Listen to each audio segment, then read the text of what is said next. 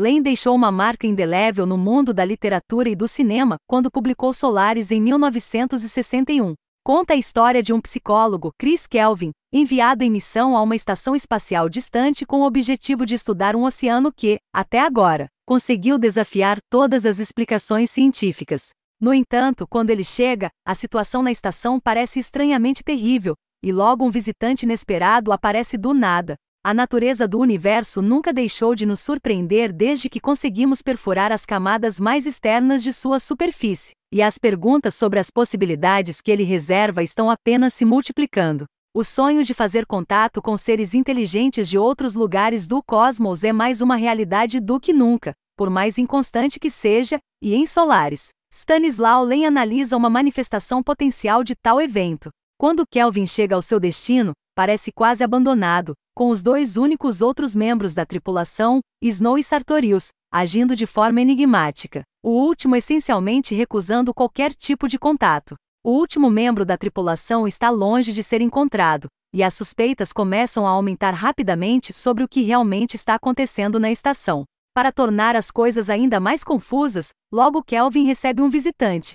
um amante de seu passado que cometeu suicídio há muitos anos. Enquanto ele ainda tenta desvendar os mistérios do oceano abaixo da estação, constantemente fluindo e mudando, ele também é forçado a olhar para dentro para enfrentar as memórias e realidades dolorosas que ele tem tentado tanto deixar para trás.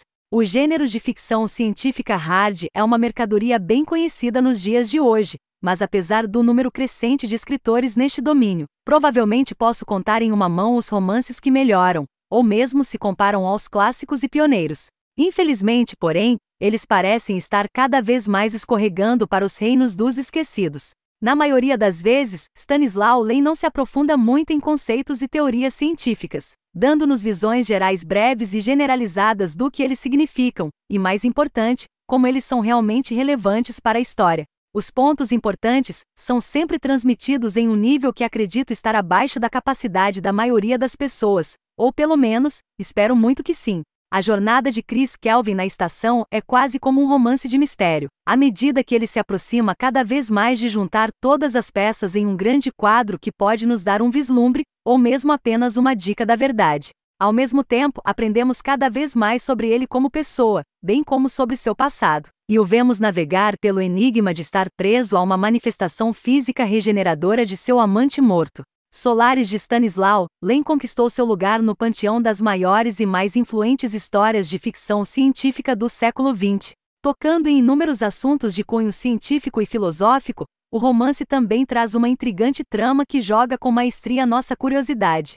Se você é fã do gênero e ainda não conhece esse clássico atemporal, recomendo fortemente que o faça. Mantém-se muito até mesmo pelos padrões modernos.